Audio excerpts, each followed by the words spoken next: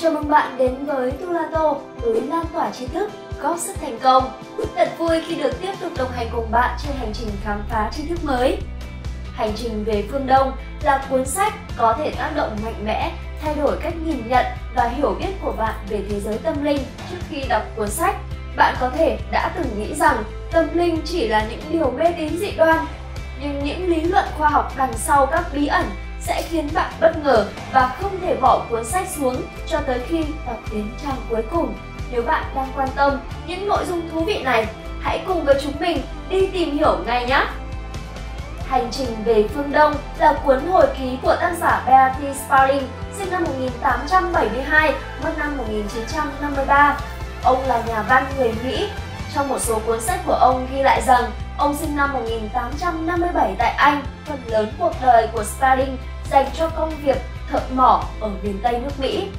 Ông cũng là tác giả của một loạt sách *Wise and Teaching of the Master of the Fair Earth, cuộc đời các chân sư phương Đông. Hành trình về phương Đông được dịch và phóng tác bởi Nguyên Phong. Tên thật là Vũ Văn Du, hay còn được biết đến là giáo sư John Vũ. Hiện nay, ông là viện trưởng Viện Công nghệ Sinh học tại trường đại học Carnegie Mellon ở Mỹ Bắt đầu sang Mỹ du học từ năm 1968, giáo sư John Vũ từng đảm nhận rất nhiều vị trí quan trọng tại Mỹ và được mời giảng dạy ở nhiều quốc gia trên thế giới về lĩnh vực khoa học.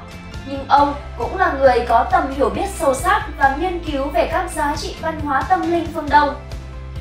Bên cạnh tác phẩm bất hủ Hành trình về phương Đông, bạn đọc có thể tìm đọc rất nhiều tác phẩm của ông như Ngọc Sáng trong Hoa Sen, Minh Triết trong đời sống, Đường mây qua xứ tuyết và tác phẩm mới nhất của ông được xuất bản năm 2020, Muôn kiếp nhân sinh.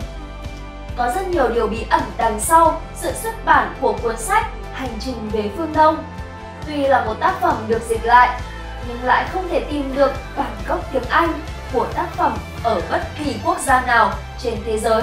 Ngay cả bản tiếng Anh được xuất bản năm 2009 và được yêu thích bởi rất nhiều độc giả Mỹ và phương Tây đón nhận cũng là được dịch lại từ bản tiếng Việt của giáo sư Dương Vũ. Hành trình về phương Đông kể về hành trình và trải nghiệm của những nhà khoa học hàng đầu của Hoàng gia Anh đi sang Ấn Độ tìm cách lý giải về những bí ẩn tâm linh và khả năng siêu nhiên của con người. Trong suốt hơn 2 năm đi khắp nơi tìm hiểu, nhóm những nhà khoa học chỉ gặp được những điều mê tín dị đoan, những trò lừa đảo của những đạo sĩ pháp sư nhằm trục lợi.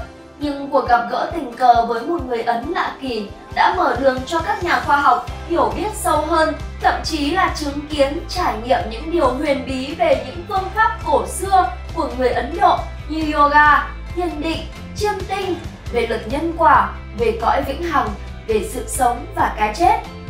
Nhưng quyết định của chính quyền Anh Quốc về việc dừng cuộc nghiên cứu đã buộc các nhà khoa học phải quay về và không được phép nói về bất cứ điều gì họ đã chứng kiến tại Ấn Độ.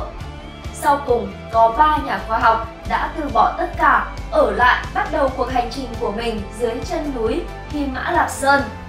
Trong đó có giáo sư Sparling. Trong cuốn sách, tác giả nêu rõ sự đối lập giữa hai nền văn hóa. Phương Đông thì quá nhiều lòng tin, còn phương Tây thì luôn muốn mọi thứ logic, chứng minh bằng vật chất Cả hai đều có khiếm khuyết và cần hỗ trợ cho nhau. Cuốn sách như mở ra cầu nối giữa khoa học và minh triết, giúp thế giới hài hòa hơn. Những điều khoa học hiện đại chưa thể chứng minh thì các cao nhân Ấn Độ đã thấu tỏ từ hàng ngàn năm trước. Cũng từ cuốn sách mà chúng ta tìm đến với những triết lý uyên thâm. Chúng ta càng ham muốn thì càng sợ hãi, càng sợ hãi thì càng đau khổ. Đúng thế, chúng ta có tính hay quên nên cứ phải học đi học lại các bài học đau khổ. Chỉ khi bị khổ sở, bị đàn áp, bị trả đạp, con người mới quay về với niềm hy vọng cuối cùng là đức tin. Khi sung sướng ít ai nghĩ đến việc tu thân cầu giải thoát. Khi cơ thể bệnh hoạn, ta mới thấy khỏe mạnh là điều hạnh phúc. Khi bị tù đầy, ta mới thấy được tự do.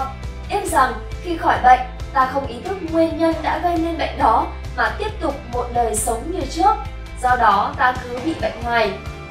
Hành trình về phương Đông mở ra một chân trời mới để Đông Tây gặp nhau, để khoa học, minh triết hội ngộ, để hiện đại, cổ xưa giao duyên, để đất trời là một. Thế giới vì vậy đã trở nên hài hòa hơn, mở rộng, diệu kỳ hơn và do đó nhân văn hơn. Tóm lại, Hành trình về phương Đông là một cuốn sách chứa đựng nhiều điều, nhiều kiến thức bổ ích, triết lý dễ hiểu, nghiêng về tâm linh và niềm tin. Chúng ta biết được những lợi ích từ việc ngồi thiền, tập yoga. Nếu là người đang bắt đầu tìm hiểu về tâm linh thì bạn nên tìm đọc để tham khảo. Cuốn sách bạn vừa nghe review đã được nhiều bạn trẻ trên thế giới ca ngợi và review. Tulato hy vọng cuốn sách này sẽ thật sự bổ ích và hỗ trợ hiệu quả cho công việc của bạn. Nếu yêu thích nội dung chúng mình chia sẻ, hãy nhấn like và subscribe để đón xem những video sớm nhất nhé! Cảm ơn các bạn đã theo dõi Tulato. Xin chào tạm biệt và hẹn gặp lại!